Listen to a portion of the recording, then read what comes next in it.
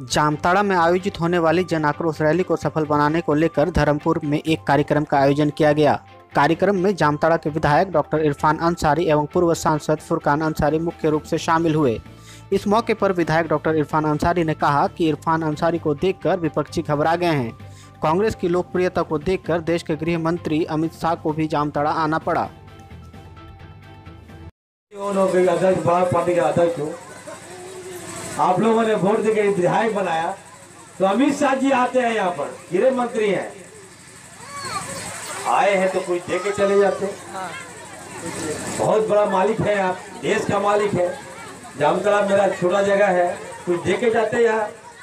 दिए नहीं राइफल करके चले गए। फतेहपुर में गुरु जी को हरा दिया इन लोगों ने।